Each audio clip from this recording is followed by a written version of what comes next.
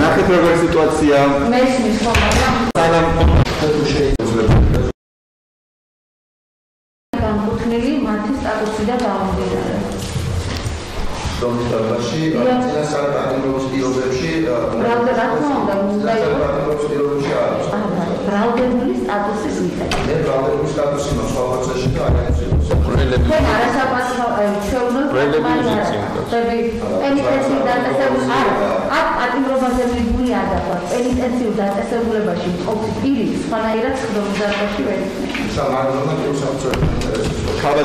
ძალიან ხშირად ძალიან ხშირად ხდება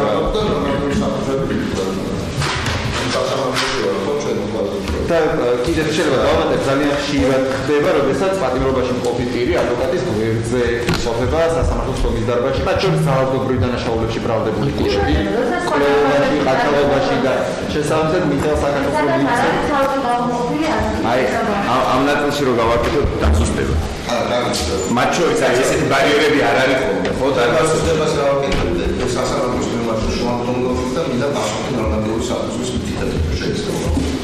და ამ ნაწილში ანუ ის რომ თქვა სასამართლოს ხომის დარბაზი ამ დაგვარად არის მოწყობილი ეს არ ნიშნავს რომ თქვა სხვა სასამართლოს ხომის დარბაზში კონდეს რომ პირადი შესაძლებლობა იმყოფოდეს ადვოკატების გვერდით ხო? ეს ხომ მხოლოდ ტექნიკური ნაწილია რომ ისია დაცვის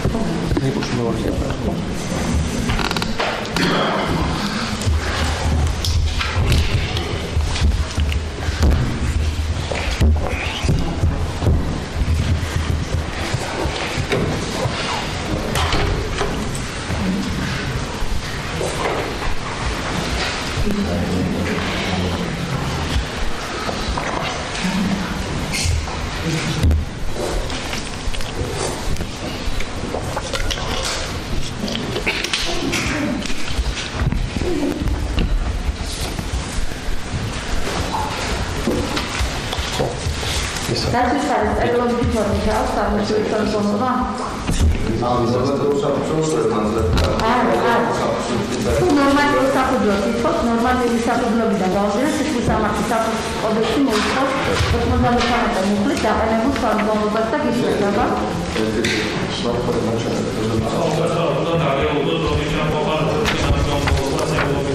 საიდან აღმოჩნდა ერთი პროცესი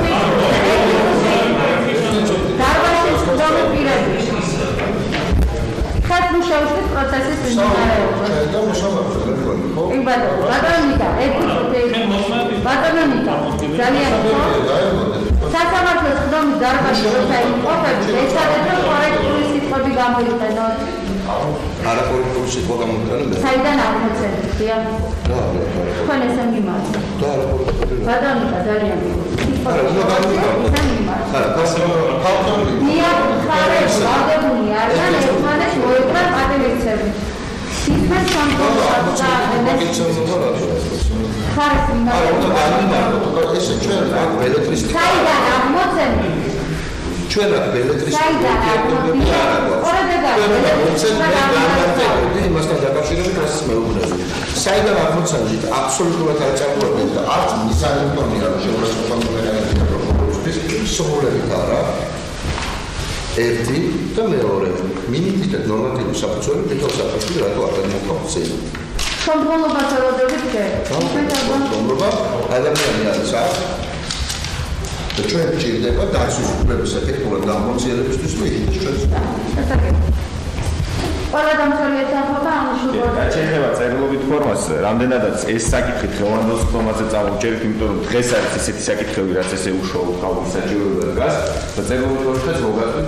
ეხლა ეს საერთოდ პრობლემა იმედეს იმ ვითარებაში, როდესაც ადგილზე წარმოშობილი საკითხია, ეს არის ძინა პროცესზე ყურადღება ვიყენებია რა დღეს წარმოიჩინე იმიტომ რომ ისეთ საკითხები გვაქვს დასავლები რომ ჩვენს გვერდით ანუ თქვენ მაინც ეს წერილობთ ხოლმე ცეთერი ფორმით ჩვენ მდგომარეობებს არ დაჭრე როდის და უცარებაში ხდება როცა ნორმატიული საფუძველის მითითება არ შეგიძლიათ მაშინ წერილობთ ხოლმე არა ბატონო აი ახლა მოგაცვით წერილობთ ხოლმე ფიქრობ არასდროს არ ეწევა სასამართლო რომელიმე ნორმატივი არანაირი პრობლემა არ მაქვს რომ თქვენ ბატონო და ნუ გაკამათებით მე არ ძალიან ხო საქართველოს აქვს პოზიცია აღნიშნულ საკითხთან დაკავშირებით სულ საიმე დააფიქსიროს იმას დავაფიქსირებ პალჩემულო სასამართლო წერილობითი შემოგვიდგომობა ამ შემთხვევაში საჭირო ვინაიდან ახალი გარემოება აქ არაფერია ბრალდებული მისთვის დაკუთვნილ ადგილზე იდებოდა და წინა პროცესზე უნდა სწორად ადვოკატებს ამ კუთხით არ არის სწორი მათი პოზიცია რომ ახალი გარემოება ამაში და ამიტომ ზეპირად აყენებენ ფაქტია რომ არ აქვს აყენებული წერილობის ფორმით და შესაბამისად პროცესის თანახმადაც არ განიხილავს სასამართლო მნიშვნელობას რომ ზეპირად არის და უნდა იყოს წერილობითი ესაა ჩვენი პოზიცია შეიძლება ამისოცებს ბატონო სამართლა არ უნდა წინააღმდეგობაში ნამდვილად ადამიანის უფლებათა და ევროპის სამართლის მიერ დადგენილ პრეცედენტის არ გვაქვს იმის გისოსები არ არის და იმის შეზღუდვა იმისა ამ ფასებში შემთხვევაში ადვოკატებს მიეცე კონკრეტული კომუნიკაციის შესაძლებლობა არ არის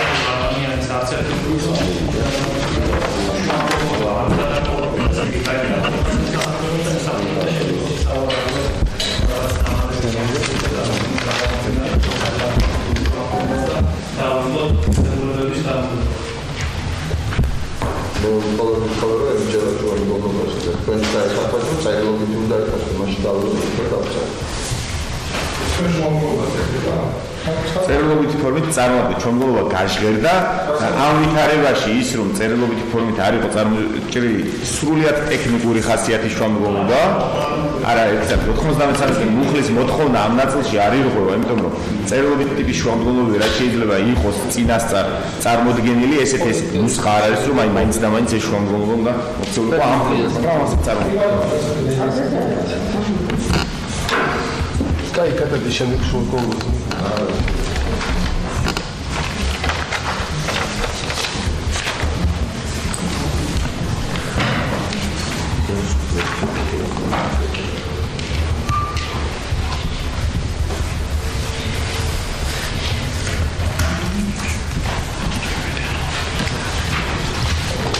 Thank you. კი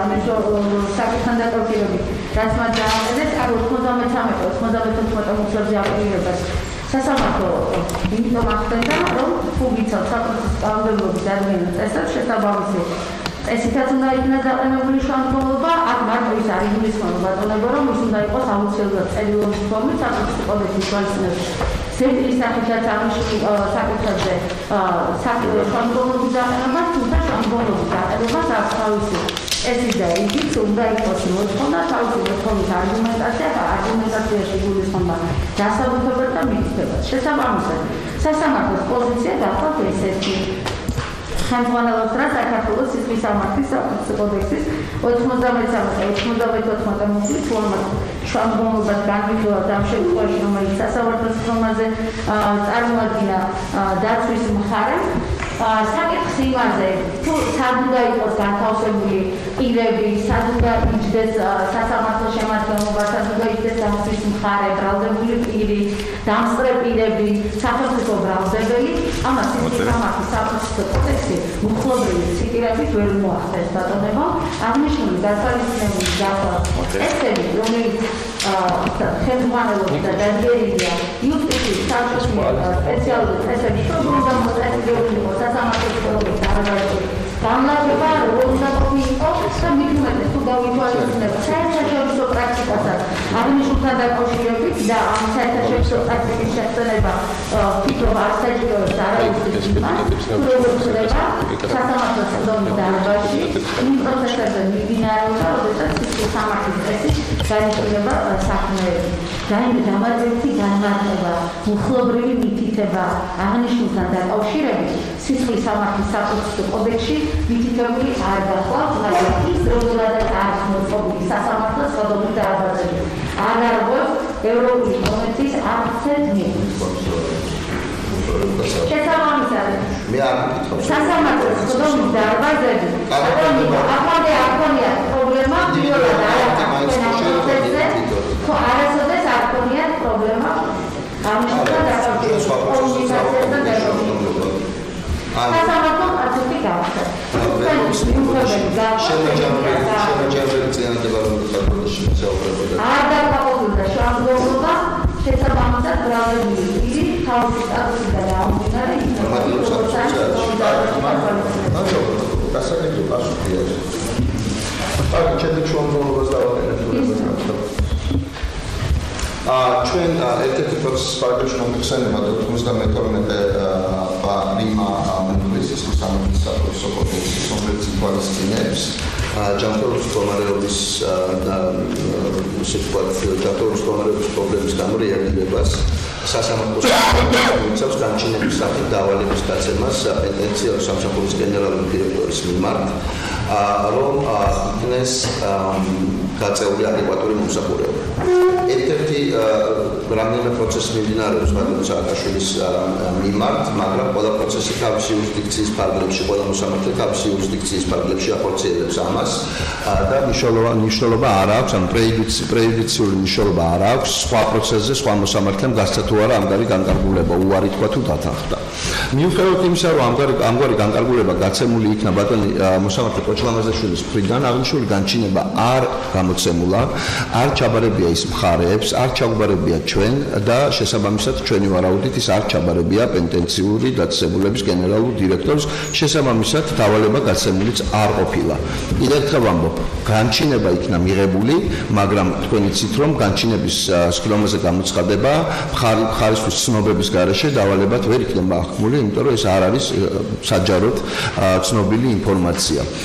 შესაბამისად ეს დავალება არ იქნა მიღებული, ჩვენ არც ვიცით რა ფორმით იქნა ეს დავალება გაცემული, იმიტომ რომ ჩვენ გვქონდა კომუნიკაცია მოსამართლესთან პროცესზე და გვაინტერესებდა რა ფორმით გასცემდა ის დავალებას, მაგრამ თავი რო დავანებოთ იმას, მივიდა თუ არა ეს განჩინება პენტენციური სამსახურის გენერალურ დირექტორამდე, პირდაპირ შემიძლია გითხრათ, რომ არავითარი გაუმჯობესება ჯანმრთელობის მდგომარეობაში არ არ არ არის პირიქით შეიმჩნევა გაუარესება და რაც მთავარია, არავითარი ცვლილებები ჯანმრთელობის მდგომარეობის უზრუნველყოფის კუთხით, ხოდიში არავითარი ცვლილებები ჯანმრთელობის მდგომარეობის უზრუნველყოფის კუთხით არ მიმდინარეობს პირიქით. აა დახმარება, მისი ჯანმრთელობის დახმარება აა დახმარების გაწევა პრაქტიკულად შეწყვეტილია და დაყვანილია სიმპტომების მოხსნამდე, ანუ ჩივილების მოხსნამდე, კი რა თქმა უნდა, ჩივილების მოხსნამდე და არა რეალურად მიზეზის პულნალობამდე და თქვენ იცით რომ დაავადების პულნალობა არის მიზეზის პულნალობა და არა სიმპტომის მოხსნა. ამას გარდა ჩვენ არ ვფლობთ ეფექტურ შესაძლებლობას გადავამოწმოთ მიმდინარეობს თუ არა ადეკვატური მკურნალობა. ამის ეფექტური შესაძლებლობა ჩვენ არ გაგვაჩნია. რატომ? არადა კანონით გვეკუთვნის. აა რატომ არ გაგვაჩინა პირველი ჯანმრთელობის ისტორია, კურნალობის ისტორიას ჩვენ ვერ ვიღებთ, მიუხედავად იმისა, რომ კვირეების განმავლობაში უკვე რაც იმყოფება რუსთავის სასჯელახსულების დაწესებულებაში ამას ველოდებით არ სრულდება სასჯელახსულების კოდექსი და პაციენტის შესახებ კანონით დადგენილი საქართველოს კანონებით დადგენილი ვალდებულება აბსოლუტური ვალდებულება ყოველგვარი შეზღუდვის გარეშე არსებული ვალდებულება ალტერნატიული საექსპერტო ჯგუფის და შესაბამისად სამკურნალო ჯგუფის დაშვების შესახებ პაციენტთან მისი მოთხოვნისამემ და ასევე პირადი ექიმის დაშვების შესახებ. შესაბამისად არავითარ ინფორმაციას იმასთან დაკავშირებით თუ რა მიმდინარეობს ან ის რო ხა თქვენ წარმოგიდგენოთ უბრალოდ თუ არაფერი არ ხდება ჩვენ ამგვარი რამ არ აგვაქვს. ჩვენ შეგიძლიათ გითხრათ ჩივილები პაციენტის და ეს თქვენთვის საკმარის საფუძველია და სამწუხაროდ ეს ერთადერთი საფუძველია რასაც შეიძლება დავეკმოთ კიდევ ერთხელ ვამბობ. აბსოლუტურად უკანონო საქციელის გამო პოტენციური დაწესებულების ჩვენ მიმართული გვაქვს წერილობით და არანაირი პასუხი არ არის უკვე თვეზე მეტია ცენტრ ემპათიას რომელიც ადგენს გაიდლაინებს ბატონ სააკაშვილის პორნალობისა მისივე თანხმობით ადგენს ამ გაიდლაინებს მაგრამ ჩვენ არ ვიცით ეს გაიდლაინები სრულდება თუ არ სრულდება. ბატონ სააკაშვილი არ არის ჩვეულებრივი ციხის საავადმყოფოს პაციენტი ერთი საავადმყოფოში არც იმყოფება ამბულატორიაში იმყოფება და ამიტომაც ვამბობთ რომ იქ უბრალოდ შეუძლებელია ეს სახალხო მისი ადეკვატური პორნალობა ეს სახალხო დამცველის დასკვნიდანაც იკითხება რომ მას სპეციფიური პორნალობა ჭირდება და იგი ვერ იღებს ამ პორნალობას, მისი მდგომარეობა უარესდება. აა კიდევ ერთხელ ვამბობ, ეფექტური კონტროლი და გადამოწმების საშუალება თუ გჭირდება სასამართლოს ან ბრალდებას, ამის შესაძლებლობა უბრალოდ მხარეებს არ აქვს, იმიტომ რომ ჩვენ არ გვაძლევენ, ავფლობთ კი არა, არ გვაძლევენ ამ ინფორმაციას. ამიტომ ერთადერთი რაზეც ჩვენ რასაც ჩვენ ვეყნობით, ჩვენ სულინდობა გვაქვს ჩვენი ასე ვთქვათ დაცვის ქვეშ ყოფის და ამას გარდა სხვა შორის 92 პრიმამუხლის მეორე ნაწილი ითვალისწინებს რომ მისი განცხადების შესაბამისად თავარი საფუძველი არის სწორედ მისი განცხადება ამასთან დაკავშირებით ჩვენ მოვითხოვთ გაიცეს განკარგულება სასამართლო შემადგენლობის მიმართ გაიცეს განჩინება და გაიცეს დავალება პენტენციალური სამსახურის გენერალური დირექტორის მიმართ ოღონ კონკრეტული შინაარსით. შეფასება უნარიანი რო იყოს თითოეული პუნქტის შესრულება. სამწუხაროდ წინაზე მოსამართლემ წინა პროცესზე ჯერცად არ გამოუცია განჩინება როგორც თქვი გითხარით იმიტომ რომ შეუძლებელი ეს ასე იყოს და ჩვენ განჩინება არ გქონდეს ხო? ამას გარდა მოსამართლე ეს განმარტებით მან თქვა რომ მე უბრალოდ გავცემ ასეთ გენერალურ განჩინებას რომ უზრუნველყავით ეს განჩინება არ არის საკმარისი იმდენად რამდენადაც უზრუნველყოფის ვალდებულება ისედაც კანონით არის გაწერილი და ამას მოსამართლის განჩინება არ ჭირდება. ჩვენ გვჭირდება კონკრეტული ჩანაწერები იმასთან დაკავშირებით კანონის რომელი ნორმები არ სრულდება მე უკვე გითხარით პაციენტის დაცვის შესახებ უფლებების შესახებ კანონი და სასჯელახსულების კანონი როგორც არის აღარ მახსოვს რა ქვია კანონის რომელი ხდება და ჩვენ გვინდა რომ ამ განჩინებაში ჩაიწეროს იმგვარი ფორმულირებები, რომლის ეფექტური კონტროლი და რეალური კონტროლი, განხორციელებს რეალური კონტროლი შესაძლებელია ა ამიტომ ეს არ უნდა იყოს ზოგადი ჩანაწერი და ბ დაევალოს კანონის შესრულება სწორედ იმ ადამიანების შეშვება პაციენტთან, ვისი იყოფნა მისი უფლება აბსოლუტური უფლება, შეუზღუდავი უფლება და ასევე ვის მიერ გამოტანილ ინფორმაციაზე დაყნობითაც ჩვენ შეგვეძლება შეგვეძლება დავასხვნათ მიმდინარეობს ეფექტიანი პურნალობა და ადეკვატური პურნალობა თუ არ მიმდინარეობს ამგვარი პურნალობა ნებისმიერი ეჭვი ეს ისეთი საკითხია რომ ნებისმიერი ეჭვი ამ შემთხვევაში უნდა გადაწყდეს მიხეილ სააკაშვილის სასარგებლოდ, ვინაიდან არაადეკვატური მკურნალობა შიმშილობის შემდეგ და წამების შემდგომ, რასაც მიმდინარეობს საქმე, მაგრამ ახლა მე 92 პრიმამხლის პირველ ნაწილს არ ვეხები, იმიტომ რომ საქმე მიმდინარეობს, მე ვეხები 92 პრიმამხლის მეორე ნაწილს, ნებისმიერი განცხადება ამ თვალსაზრისით, ანუ არაადეკვატური სამედიცინო მომსახურება არის წამების განგრძობითი ფორმა. ეს არის საერთაშორისო პრაქტიკით დადგენილი ნორმა, ევროპის სასამართლოს სამართალ წარმოებით დადგენილი ფორმა და რაც თავარია, ადამიანის უფლებათა ევროპული კონვენციის დადგენილი წამების ფორმულირებაში შედის და ასევე წამებისა და არადამიანური მოპყრობის წინააღმდეგ კონვენციის, საერთაშორისო კონვენციის ფორმულირებაში შედის. ამიტომ მე ჯეთი მინდა რომ ბატონმა მიხეილმა დაამატოს კონკრეტული დეტალები იმისთვის რომ სასამართლოსთვის ცნობილი იყოს უფრო დაზუსტებით რაზეა ლაპარაკი და ასევე შინაგანი წმენის ჩამოყალიბებისთვის ეჭიმა ქროა, ეჭიმა ქროამას მნიშვნელობა და ასევე გთხოვთ რომ ეს შრომგულობა დააკმაყოფილოთ ჩვენ არც განსაკუთრებულს არ ვითხოვთ, ჩვენ ვითხოვთ პაციენტის სიცოცხლისა და ჯანმრთელობის უფლების უზრუნველყოფას ინფორმებით, რასაც საქართველოს კანონმდებლობა კი არ უშვებს ვალდებულებითი სახით ანიჭებს საჯარისულებით დაწესებულებაში ყოფ პირს. შეიძლება ანუ აი ხდება მონაწილე მარტო ან უნდაობა გარეთ ან და ჩისპატი მაგრამ და ანუ ჯანდაც ჯანმრთელობის დაცვის ისტორია რომელიც ჩვენ ყოველდღიურად გვეკუთვნის აი დაახლოებით დეკემბრის შემდეგ ჩვენ არ არ აგვიღია. მიუხედავად იმისა, რომ მოთხოვნა ყისიერად დგება სულ. იგივე ეხება ცენტრ კი აუცილებლად. ცხადია, აუცილებლად, აუცილებლად ბატონო. ცხადია. აა და იგივე ხდება ემპათიის თვალსაზრისით ემპათია არის ბატონი მიშას მიერ არჩეული ფორმა მისთვის ჯანმრთელ მისი ჯანმრთელობის კონტროლისა და მისი ჯანმრთელობის მდგომარეობაზე ზედამხედველობის და მას ამისი სრული უფლება აქვს და ასევე პირადი ექიმი რაზე რაზეც უფლება უარისთვის უფლება უბრალოდ არ გააჩნია საერთაშორისო პრაქტიკითაც და საქართველოს კანონმდებლობით პენტენციურ დაწესებულებას არც ერთი ეს ვალდებულება აბსოლუტურად მიზანმიმართულად ჩვენი აზრით არ არ შეიძლება მოდი მოდი შეიძლება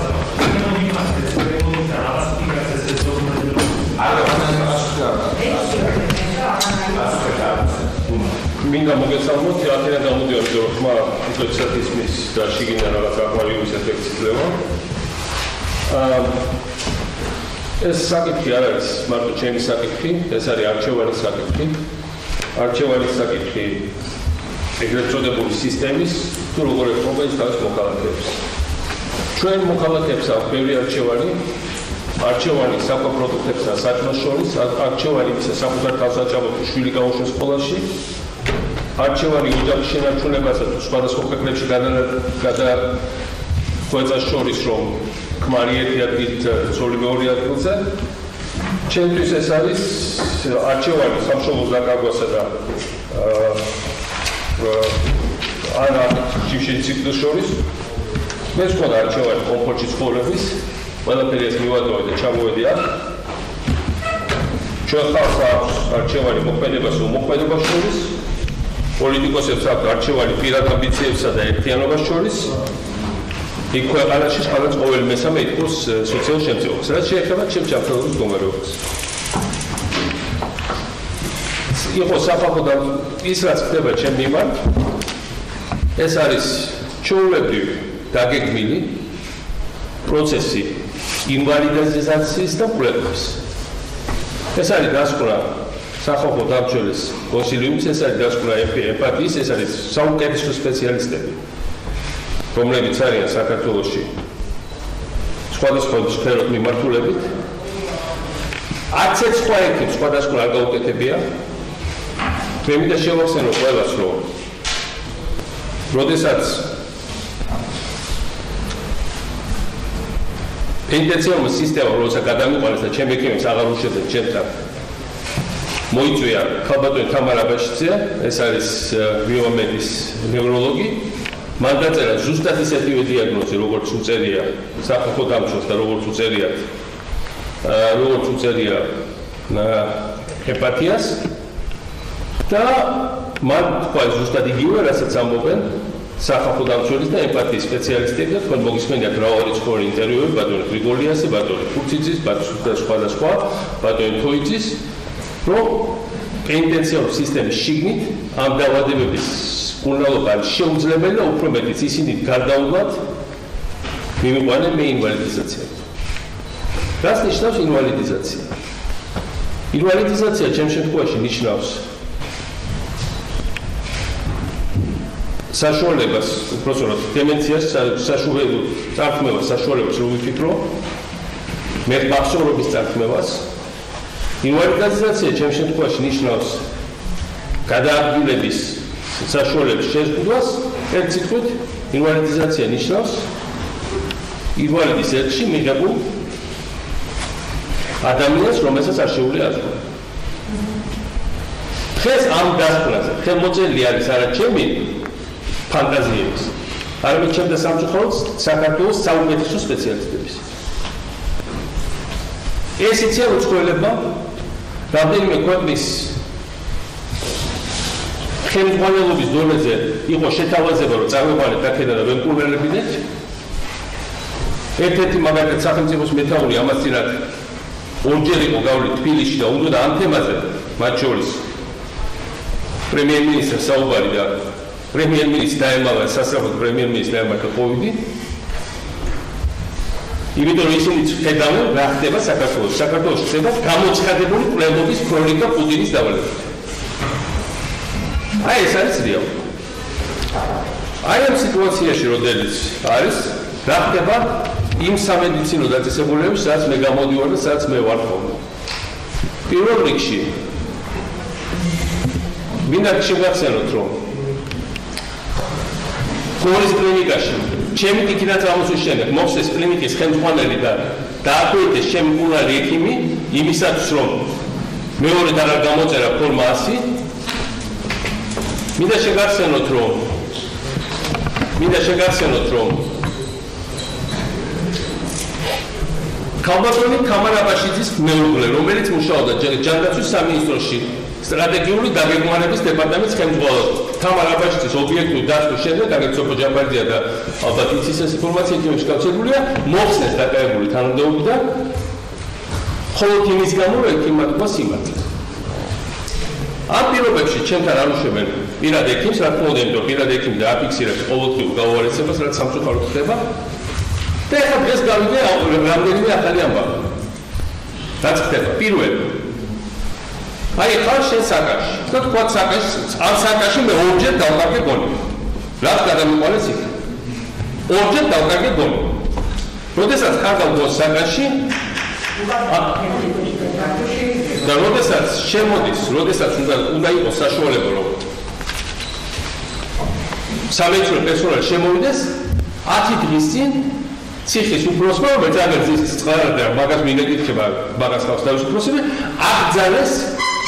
აკძალეს ექიმის და ექიმის შემოსვლა საკუთში. ესე იგი, ცუდა თუ ხარ სამეცნიერო პერსონალი ვეღარ შემოდის საკუთში. ეს არის ახალი ნორმა, რომელიც დაადგინა რუსთავის ციხე. მე კიდე მეორე ერთი კვირის წინ გადაწყდა რომ 6 საათის შემდეგ მორიგი ექიმი აღარ არსებობს.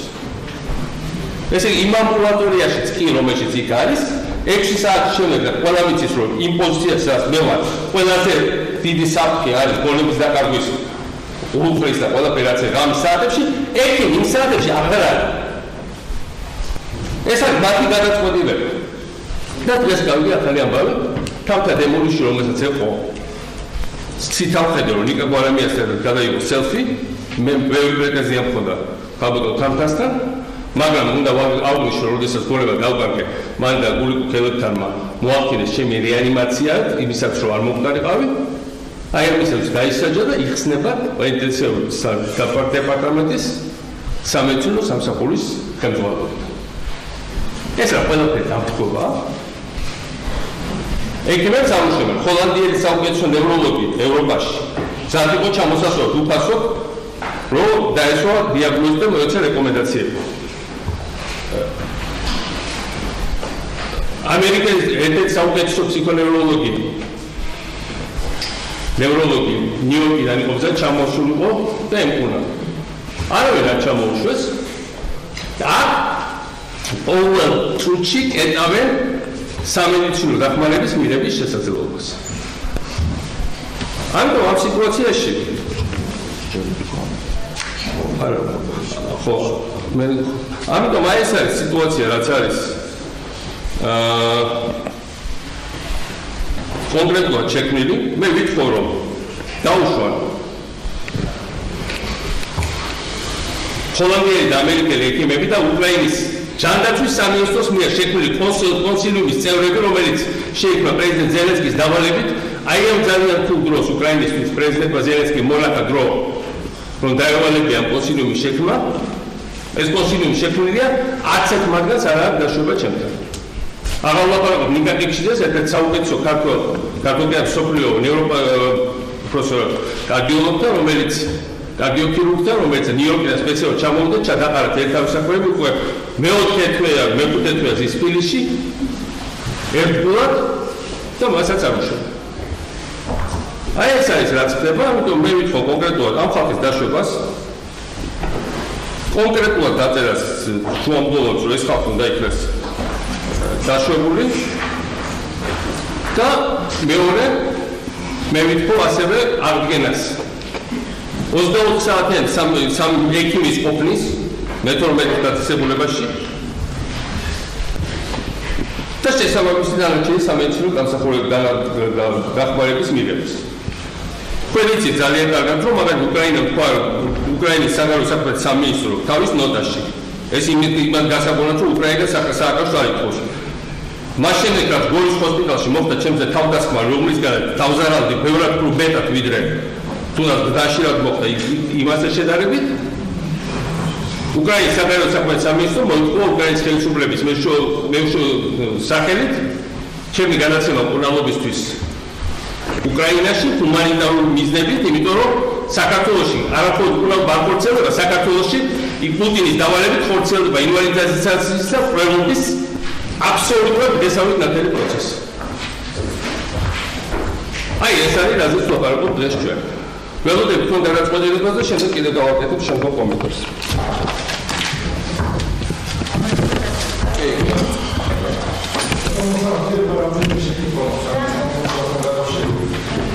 ან პირველი ბატონი თამაში გაკვეთ ახსენეთ რომ სხვა რა კონტექსტში ახსენეთ ის გაჩინება რამე კავშირშია ამ შუამდგომლობასთან თუ იმისგან დამოუკიდებლად მაინც აყენებთ ამ შუამდგომლობას ეგეთი ხო ეგეთი ერთი? ერთი შეკითხვა პირველი და მე არ არ ჯერ ეგეთი და მეორე შეკითხვა თქვენ ძამით რომ სხვა საქმეზე მოსამართლემ და აღმოყოფილა 191 პრიმამუხლის პირველი მეორე ნაწილით სწორი არის. ანუ იქ საფუძველი იყო რომ ჯანმრთელობასთან დაკავშირებით თუ საფრთხე მოხდება და შემდგომ სასამართლომ დაავალა გენერალურ დირექტორს რომ მიიღოს უსაფრთხოების უზრუნველსაყოფად აუცილებელი განსაკუთრებული ზომები ხო ესე იყო. ეხლა თქვენ თქვენ შუამდგომლობაში э, ამას კი არ ითხოვთ, რაც კანონში წერია. აქედან გამომდინარე ითხოვთ კონკრეტული პირების, э, მაგალითად ნიკოლოზ ტიფშიძის სხვა ექსპერტებს და ბრალდებულმა კიდევ სხვა პირების დაამატა ამას. ანუ შესაბამისად თქვენი მოთხოვნა მოიცავს ამას ამ კანონის მოთხოვნას, ჯდება ამ ყველაფერში და ესე იგი და ზუსტად განჩინებაში რომ ჩაიწეროს კონკრეტულ სახელდაგვარებით. და რამდენად შეესაბამება მოხს აი ეს მაინტერესებს. კი ბატონო. ეს მუხლე არის ბლანკატური ნორმა რომლის შინაარსი გამწობილია პაციენტის შესახებ კანონში როგორც უკვე გითხარით და ასევე სასჯელ ახსულების კანონი რა ქვია იმ კანონს აღარ მახსოვს პატიმრობის შესახებ კანონში ბოდის გიხდით პატიმრობის შესახებ კანონში რა შეეხება პირველ თქვენ შეკითხვას განჩინებასთან დაკავშირებით. განჩინება ბუნებაში არ არსებობს მიუხედავად იმისა, რომ ადგილზე თათბირით ზეპირი განჩინება იქნა გამოტანილი. ის წერილობითი სახით არ არსებობს და რატომ არის საჭირო საუბრობ ჩანაწერი მაინც ის რომ უნდა გაეგზავნოს მხარეებს და მათ შორის პირს რომელიც ვალდებულია რომ ეს განჩინება შეასრულოს. ამიტომ ჩვენ შეფასება უნარიანიც არ არის ჩვენთვის ეს განჩინება, უბრალოდ და არის და არა გვაქვს ეს განჩინება რომ შევაფასოთ და რა წერია შიგნით, სახელი, გვარი თუ ასე შემდეგ. რასაც თქვენ ამბობთ მეორე ნაწილში უკვე თქვენი განჩინების სახელები და გვარები და ასე შემდეგ. სახელები და გვარები მითითებულია იმიტომ რომ ჩვენ გვაქვს უფლება მოვითხოვოთ კონკრეტული კურნალობა და კონკრეტული მექანიზმის დაშვება კურნალობის ზედამხედველობისთვის. სახელები და გვარები არის მითითებული მხოლოდ ამიტომ. თუ სასამართლო გადაწყვეტს რომ არსებობს რაიმე სხვა მექანიზმი ამის კონტროლის, ცნობის გამოტანის, იმის დასტურის რომ კურნალობა სწორია პასუხისმგებლობის რომ ეს კურნალობა სწორად მიმდინარეობს, რომელიც უკვე სასამართლოს განსჯადი რო გახდა ეს საქმე და მათ შორის თქვენი განსჯადი, ანუ თქვენი ზედამხედველობის ქვეშ ყოფია ეს საქმე, იმიტომ რომ ბრალდებას კი ახორციელებთ, მაგრამ ატიმრის ჯანმრთელობის მდგომარეობა და უსაფრთხოება პროკურატურის ზედამხედველობის საქმეც არის, ხო, პენტენციარის სამსახურის ზედამხედველი რეალურად ატიმრის უფლებრივ ნაწილში პროკურატურა აა პირველ რიგში და მეორე სასამართლო, ხო? ეს საკითხი 191 პრიმა მუხლი ზოგადად არის წამების კონვენციის ჰარმონიზაციის შედეგად სისხლის სამართლის კოდექსში ასახული. ამიტომ ეს არის ძალიან სპეციფიური მუხლი, ვერ ნახავთ სხვა ტიპის დანაშაულთან დაკავშირებით ამგვარ მუხლს კოდექსში. ამიტომ მე არ მესმის თქვენთვის რატო უნდა იყოს ეს მიუღებელი, იმიტომ რომ პირიქით მგონია რომ ამ პასუხისმგებლობის გადანაწილება ეხლა თქვენზე და მათ შორის სასამართლოზე მეცაც ვიტყვი პენტენციურ დაწესებულებაზე რომელიც მე არ ვიცი საერთოდ ამას რატო აკეთებს მაგალითად რატო არ გცემს საერთოდ პასუხებს არც ჩვენ არც ცენტრ ემპათიას არც პირად ექიმს არანაირი პასუხი არ არსებობს და რაც შეეხება იმ განჩინებას კიდევ ერთხელ აა ბოდიში გიხდით სახელი დამავიწყდა თქვენ ლაშა ბატონ ლაშა. აა რაც შეეხება იმ განჩინებას აი ხა რაც ბატონმა მიხელ სააკაშვილმა ილაპარაკა იმ განჩინების ზეპირი განჩინების მიღების შემდეგ მოხდა ეს ყველაფერი.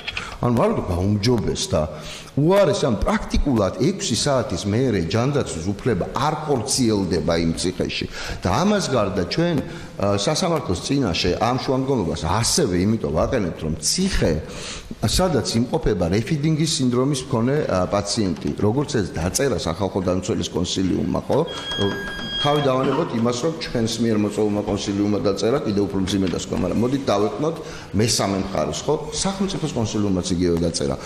აა ასევე ეგრეთ წოდებული პოსტტრაუმული სტრესული აშნილობის სინდრომი ესეც ყველამ დაწერა აბსოლუტურად.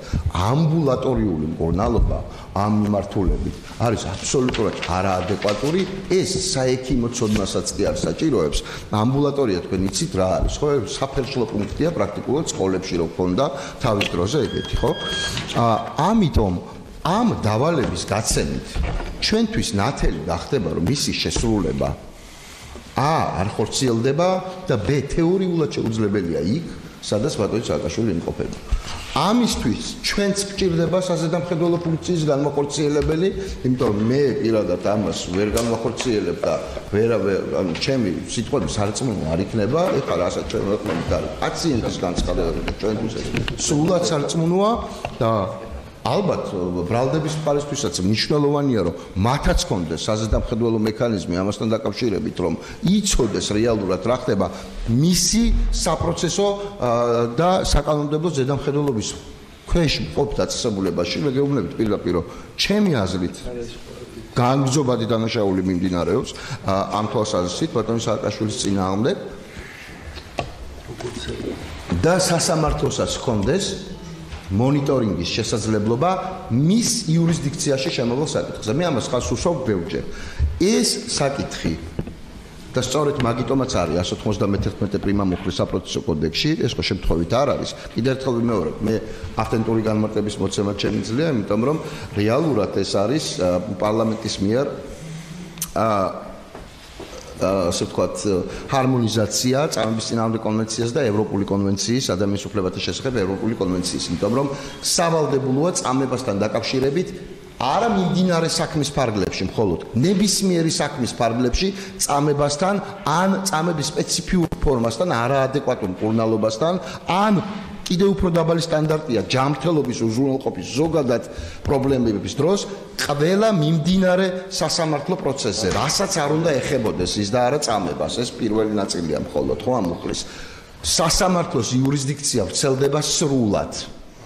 საზედამხედველო იურისდიქციაც მათ შორის, იმიტომ რომ ეს არის სპეციფიური საკითხი და ეს არ არის სასამართლოს უფლება მხოლოდ.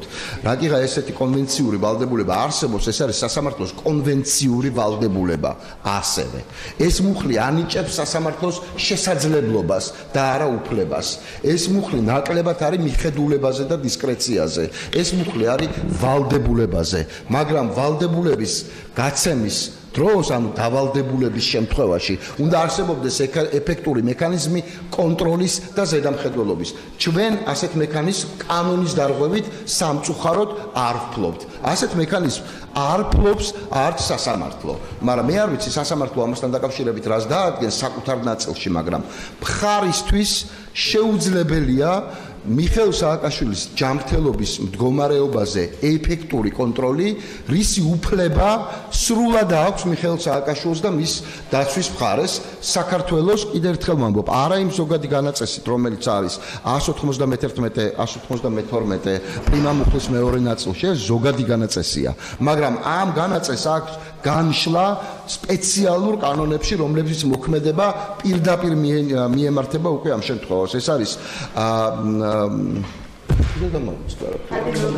პატიმრობის შესახებ კანონი და ეს არის კიდევ უფრო სპეციალური კანონი ამ მიმართულებით პაციენტის შესახებ კანონი რომელიც წერდება ყველა პაციენტზე მიუხედავად იმისა სად იმყოფება ის. ეს არის ჩემი პასუხი თქვენ შეკითხვებზე და ეს არის ჩემი მიმართვა სასამართლოს პოზიციას არის ზოგადად გასაგებია ის შინაარსი პირველის მეორეს განჩინებაზეც გავიგე ანუ თვითონაც არ ჯერ და არც მე არ ვიცი რა წერია მოკლედ საქმე რაში არის ანუ სასამართლოს ყველა გადაწყვეტილება უნდა იყოს კანონიერი და უნდა შეესაბამებოდეს კონკრეტულ ნორმას მოთხოვნა კანონიერია კი ბატონო ნამდვილად თვალისწინებს პოზიციას და მიუხედავად სასამართლოს განმოსა განჩინება და რომ კანონიერია მოსწავლე მე პრობლემას ვედა კონკრეტული და გარემოს გასადებაში და თვითონაც ძალიან მუქი სპეციფიკური და ნამდვილად სპეციფიკური და სადაც არის ბალანსური თვითონ დაწესებულება სპეციფიკური იქ მოქმედებს სხვა წესები ან მაგალითად არის მინისტრის ძალება არის შინაგანი წესი არის გეგმება არის კანონის შესახებ კოდექსი არის მინისტრის შეუძლის მინდა მოდეს არის გასაშვებები შეხვდება პაციენტის ეს სწორად მოვა ეს პაციენტის შეხვდება დასრულება უნდა იყოს ამას სპეციალური ნორმა შესაბამისად კონკრეტული სახელი და გვარების ჩაწერა ეს არის ძალიან კარგი დაგაშო ამ ხოს რეგულაცია ეს გასაგებია არის ეკოს ჩაშლა როგორც პატრინგოს მაგრამ ბატონო თავუცა ჩემი აზრით ფაქტია რომ ეს არის და თქვენ ფიქრობთ რომ გამოგინა რომ სამომდან ეს კონკრეტული სახელი რომ ჩვენ შეიძლება რეფერენსი გავაკეთოთ, ანუ მიმართება გავაკეთოთ სპეციალურ ნორმებზე. არა, საჯაროსოების შესახებ ერთი თემაა. გავუშვათ და ყოფილა სასამართლო და რომელიმე ან ის ასეთი პანდემია რომელიც ამბობს მომარება დაუარსდა და ვიშან მე მოხდა და კაპიტან სხვა სახელმწიფოების შესახებ.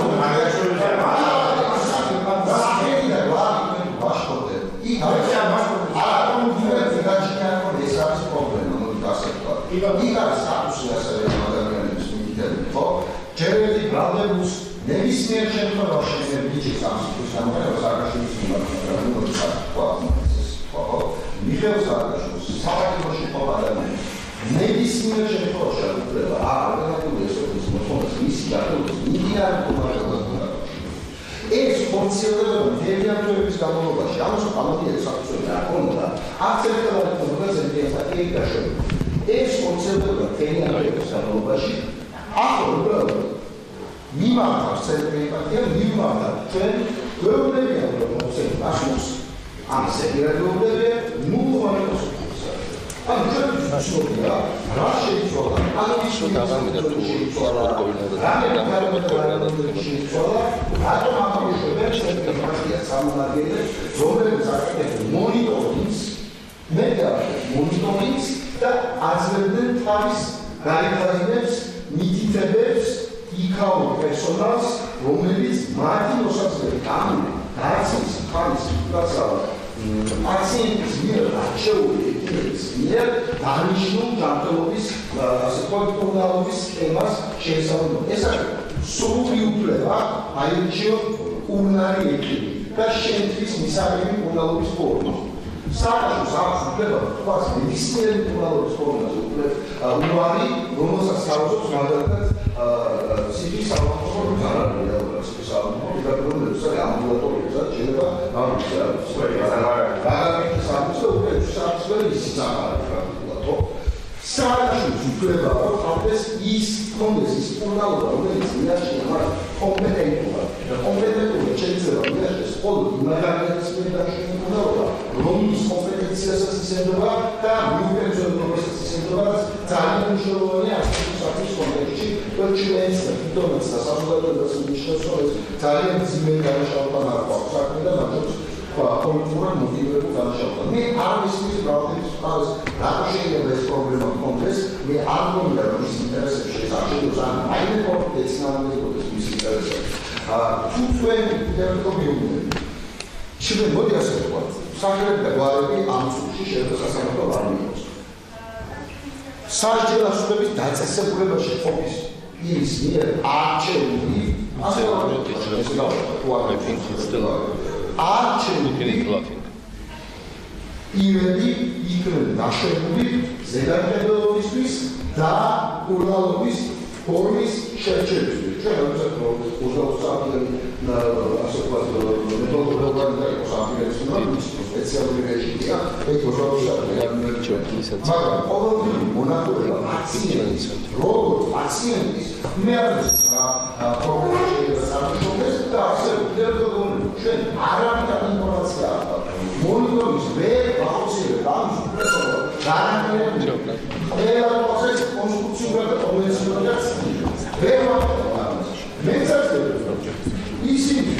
რას აკეთებენ და თვითონ რომ რენდომ დააბლოდებია შეხასება უნდაია შეგა სამოსაცში ამასაც ნებდა თვითონ შეიძლება ჯანმრთელობის და ისტორია მოწე როცა ყოველდღიური მოვლენები ვაკეთებ ინფორმაცია ყოლს სამოსაცში უბრალოდ პროფესორ და მათ ყოველდღიური არ არსებობს ჩვენი ანალიზის იმავლის მიუხედავად ამიტომ სასამართლოს თო ამ პროცესის ფაქტში ის ასკენ ხავდა და ის აალდება და მე ეცეინ ხავდას ფილოკ გახსოვსებისას და ზედამხედველობისას და არა ისე განსხვავებად მიიღოს ეს როგორც ნორმაში წერია რომ ნორმა უბრალოდ იძლევა ძალიან ფაქტო განმარტება. საერთოდ ისორთქეცება ნორმა ნორმა ძალიან ფართო იძლევა შესაძლებლობას სასამართლო ამასთან დაკავშირებით იყოს განსხვავება სპეციალური ნორმები ანუ იმდენად განკუთვნილი ნორმა მას ჭირდება სპეციალური ნორმები შესაძლება და კიდევ ერთხელ თუ თქვენ გეჭირება რომ ეს ნორმა აგვარია მაშინ უნდა გამომიხედოთ კიდევ ერთხელ ვამბობ ამ ნორმაზე ზენდლოვის ამხელები ნორმების საერთაშორისო პროვინციები და ევროპის სასამართლოს, საერთაშორისო სასამართლოს პრაქტიკა. ასევე საქართველოს კონსტიტუცია რო ადამიანის სიცოცხლე და ჯანმრთელობა შევა. ამაზე ვსაუბრობ და აი ამაზე ვსაუბრობ ვალდების ხარისხან გამატებით დაუფიქსირე პოზიციას. რა თქმა უნდა, ჩემი კოლეგის პოზიციას ვთანხმებით და ასე ვფიქრობ, რომ კონკრეტული სახელი გვარების მითითება არის პრობლემური და ამ აღნიშნულ შუამდგომლობაზე, როდესაც იმჯერა თქვენმა კოლეგამ კონკრეტული დრო გამოსაზღვროთ და ამ კონკრეტულ დროში რა ხდება? ამიცანით ჯერ რასთან დაკავშირებით და შემდეგ უნდა strukturულ ფორმატში ჩამოვაყალიბოთ. არა, ჯერ უნდა გავუკეთო რებაზე რაზეც ახლა საუბრობდით. კი ბატონო. და შემდეგ მინდა 10 წუთი ზოგადად იმ кейსზე და სიტუაციის გათვალისწინებით. 10 წუთი ანუ ჯამში 20 წუთი, არა 20 წუთი ბატონო. არ უნდა. არ მინდა 20 წუთი, 10 წუთი პლუს რამდენიმე სიტყვა. რა საკითხსათო ჩამოვიწოდეთ. ბატონ ლაშა, ვეხებით იმ საკითხს. დავიწყოთ მოწმეები, დავიწყოთ დაესწავლეთ და შემდგომ დაესწავლეთ. ლაშა, ნახეთ 10 წუთი, 10 ჩვენ ჩვენ პატივს ვცემ. პატივს ვცემ იმ ხალხის დროს, ვინც არის გამოცხადებული, მაგრამ როდესაც საათ ნახევარი მიდიოდა საგნობრივი მსჯელობა, საკითხზე ხო საგნობრივი იყო თქვენ ხო არა პროტესტები. ამავე საკითხთან დაკავშირებით მესამე პრეზიდენტს 10 წუთი კიდე რომ ისაუბროს, 15 წუთი კიდე რომ ისაუბროს, ნამდვილად აქ ამის უფლება, მით უმეტეს 10-15 წუთი ამ ხალხს თუ რეგიონებიდან არის ჩამოსული, ხელს არ შეუძლია. ზედმეტი დრო რატომ მიხე 10 წუთი შეგიძლიათ გძალოთ? პირველ რიგში ყველაფერი გასაგებია რაც შეეხება ჯანმრთელობის მდგომარეობას. თქვენ ხედავთ რა ხდება უკრაინაში და თუ კი ვინმე სულელს დღეს კიდე გონია ან უსინდისოს რომ ომი ჩვენ დავიწყეთ მეგობრებო უნდა კარგად შეხედოს უკრაინას. ჩვენ ომი კი არ დავიწყეთ, ჩვენ საქართველოს გადავარჩიეთ. მე და ჩვენ ჩვენ და ამისთვის ვისჯები ახლა მე და მათ შორის ამისთვის ხორციელდება პუტინის დავალებით არსებული რეჟიმის, კრეპტოკრატიული რეჟიმის და მაფიოზური კლანის მიერ შეგნებულად შემინიმალიზაცია და მკვლელობა. ამას ვაცხადებს სრული პასუხისგებლობა. აქედან დაკავშირებით მე მინდა თქვა რომ თქვენ ვერ მიიღებთ იმას რომ წყლარად ისე ჩავქრე, ვითომ ვერაფერი. თქვენ ნახავთ როგორ თუ საჭირო გახდა ყებიან თავაწეულად ნამდვილი პრეზიდენტები და ნამდვილი ლიდერები. მე ვაცხადებ დღეიდან უვადო შიმშილობას სრულს. და ეს არის შიმშილობა რეაქცია იმაზე როგორც გვეყობა რეჟიმი მე და ჩემ ხალხს ჩვენ ხალხს. და როგორც აქ ჩემი ჯანმრთელობა არის კიდე მე ასე ხარისხოვანი მე მივიღე სხვადასხვის ჩემი ჰოლანდიელი ინტერნისტი და დომინიკ დე ვერხაგენი და წერილი ამასთან დაკავშირებით და მის წერს კატეგორიულად გამორიცხულია განმეორებით შიმშილობა. ეს გამოიწვევს თქვენი უკვე გასუსტებული ჯანმრთელობის ფონზე განმეორებით და უფრო ძლიერ სტრესს მეტაბოლიზმის ელექტროლიტების ფერმენტების და ჰორმონალური ცვლის მოშლას რაც თავის მხრივ ქსოვილურ და უჯრედულ დონეზე უკვე ისე დარღვევებს გამოიწვევს რასაც შეუქცევადი და ლეტალური შედეგი მოყვება აი მე მიდივარ ამაზე აი ეს არის ეს სადაც რაც გააკეთა და ნახოს ყველა. რას ნიშნავს სამშობლოს სიყვარული ნახოს ყველა რას ნიშნავს ამბიციები თუ საკუთარ ქვეყნის უფრო მაღლა დაყენება? კომფორტიდან და ყველაფერი ეს ეს ერთი. მეორე. ისე ხოლოდ სულელად შეუძლია დაიჯეროს ის ბრალდებები რომელიც მე მაქვს დაყენებული ყო დაწყებული კოსტუმების საქმიდან შეწყალება და ასჩენა ამ საქმეს რაც ეხება თელი თელი ფაბულა ამ საქმეს არის ძირითადი ჩვენებები. ინო ბურჯანის რომის იძახის რომ მე ვარ პოლიტიკური პასუხისგებლობა ამას მე თვითონ ვიზიარებდი და არჩევნები ჩავატარდა ყველაზე მაღალი ვერდიქტი მივიღე ქართული ხალხის მეორე. გოგავა რომ გენერალი რომელიც იძახს რომ ყველაფერი სწორად გავაკეთეთ და ხელახლა რომ გავაკეთებია ესე უნდა გავაკეთოთ პოშტ ტელევიზორში ესე იძახის და მესამე. არის ჩვენება უბრალოდ არის ლაპარაკი იმას რომ მართალია სააკაშვილის პირდაპირ არავისთვის არაფერი განკარგული არ მიუცია მაგრამ მარო მერაბიშვილს კუში უჩურჩულებს და მართალია ვანო მერაბიშვილი ამას უარყოფს მაგრამ ვიღაცა სამხედროები დაგვიძროებია ამის შენობა პოლიციელები და აი ეს არის დამამტკიცებელი. ხალხო შეიძლება სააკაშვილი არ მოგწოდოთ მაგრამ მე მინდა გითხრათ რომ ჩალით არ არის დახურული ეს ქვეყანა. მე ხა ვიყავი რომ უყურებდი მიუხედის კონფერენციას სადაც უნდა ყოფილიყავი იმიტომ რომ აპირებდნენ ჩემ მოწვევას და ვამაყო პრეზიდენტ ზელენსკის იქ გამოსვლით, მაგრამ მე როცა დავდიოდი ამ კონფერენციაზე და დაახლოებით 14 ჯერ ვარ ნამყოფი. ბოლოს ბოლოს წინაჯერ დედაჩემთან ერთად ვიყავით, ორივე მონაწილეები ვიყავით. იქ რიგი ხდებოდა ხოლმე ჩემთან წამყვანი დასავლეთის ლიდერების რომ რომელთაც უნდა შეხვედრა საზრის გაზიარება. ვიცე-პრეზიდენტი ამერიკის სახელმწიფო მდივანი და შემდეგ და შემდეგ. ასე ეს ამ საქმეს ეხება, იმიტომ რომ გადაწყვეტილები ესე მიიღებოდა, იმიტომ რომ 7 ნოემბერი იყო ჰიბრიდული ომის ნაწილი საქართველოს წინააღმდეგ. და მაგ და ჯო ბაიდენი 7 ნოემბრის შემდეგ გამოვიდა და თქვა ამერიკის გევანდელი პრეზიდენტი ის რაც მოხდა თბილისში 7 ნოემბერს ეს იყო რუსეთის მიერ დაგეგმილი პროვოკაცია და თქვენ აქ რაღაცეებზე მსჯელობთ ეს ხო საპრეზიდენტო დებატები მაშინაც პრეზიდენტი თქვა კენში ჯო ბაიდენის ჯო ბაიდენის გამოძახება არ გინდათ მოწმეთ ჯო ბაიდენმა და დახწერა ზუსტად რა მოხდა 7 ნოემბერს. თქვა ძალიან გამიკვირდა. არც სხვა სენატორს ესე ზუსტი შეფასება არ ქონდა მაშინ. ეს არის ჰიბრიდული ომის ნაწილი. იმისაც რომ ჩვენი ხალხი იყოს სიღარიბეში, სიღატაკეში და მაფიოზური კლანი მართავდეს მომავალში. ამიტომ მე მინდა უთხრა ყველას ოპოზიციაში. მეგობრებო, გვერდზე გავდოთ ყველა ამბიციები. სააკაშვილის მურავის გაკომპლექსებთ, იმიტომ რომ თუ საჭირო აორთქები და გავხრები. მაგრამ ყველანი ერთად უნდა ვიყოთ. ყველანი მობილიზებული უნდა ვიყოთ. ჩვენ არ ჩვენ ყველანი უნდა მივდიოდეთ ერთი მიმართულებით. თუ მართლა გვიდა ცვლილება ამ ქვეყანაში, ჩვენ ქვეყანაში. და питка питкинец я хочу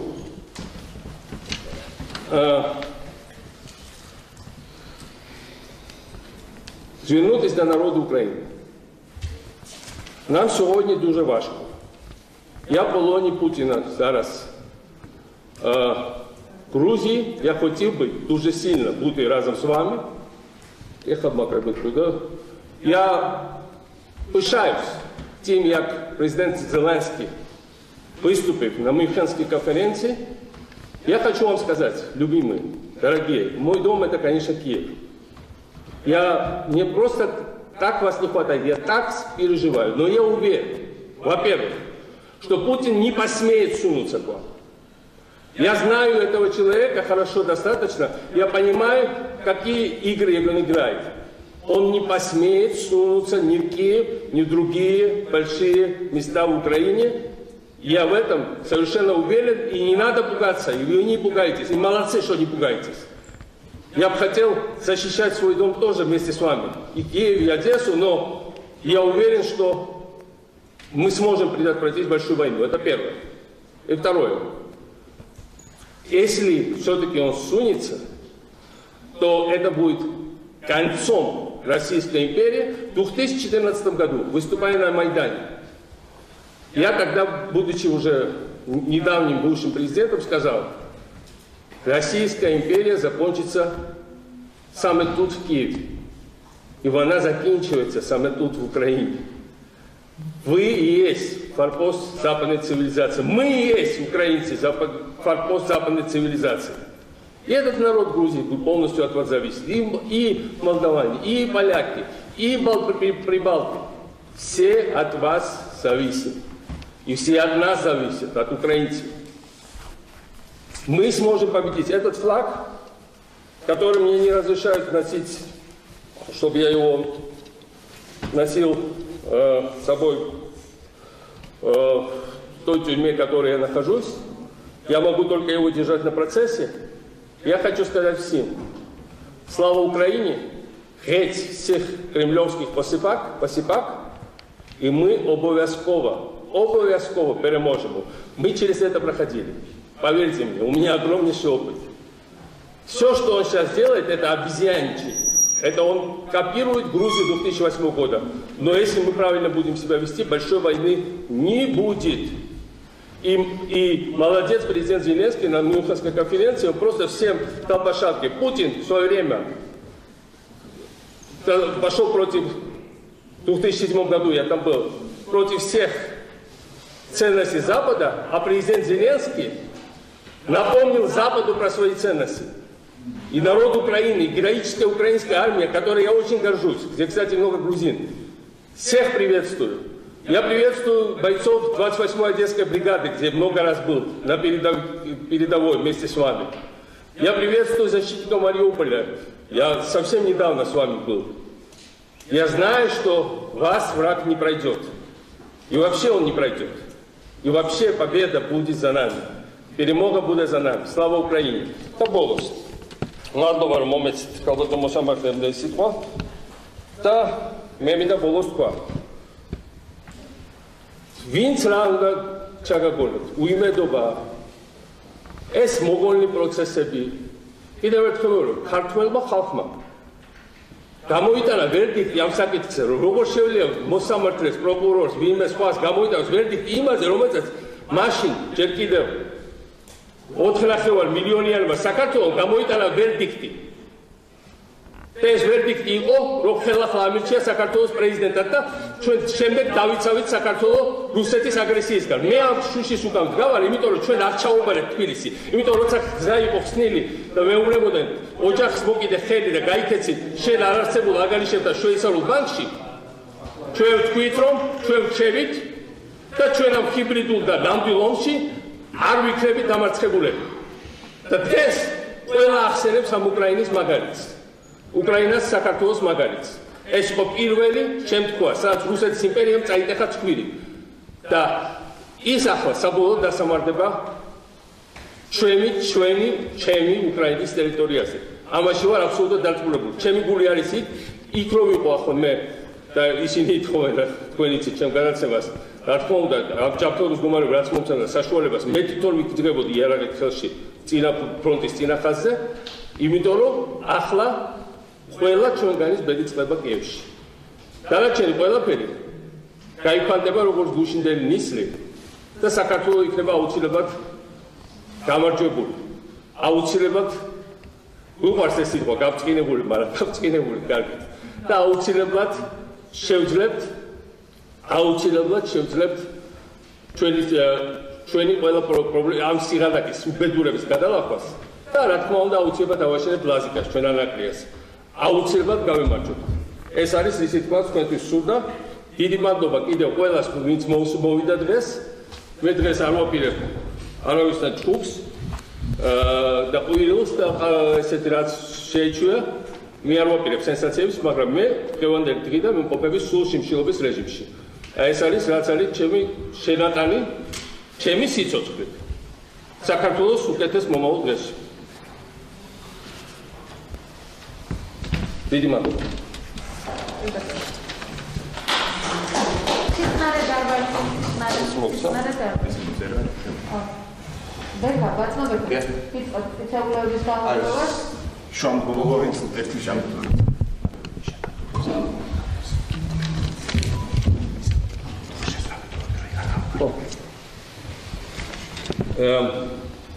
хочу поцеловать этот флаг просто и передать обратно.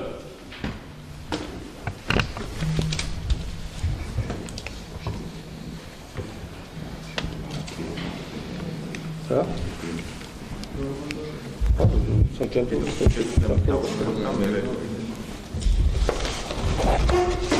შიმშილობა უკავშირდება რა თქმა უნდა იმას რომ პრაქტიკულად შეანაცვლებს საშუალებას რომ ჯანმრთელობის მდგომარეობის არ მოცემის პირობებში მაინც ისე გამანადგურო რაც ხდება.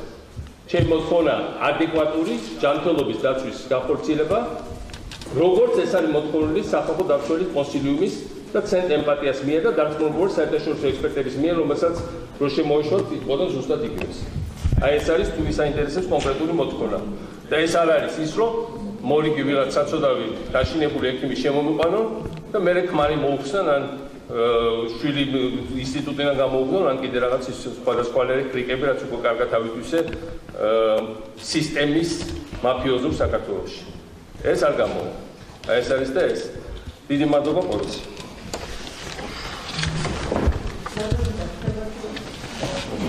პოლიცია ბატონო. იბა, იბა, იბა, Thank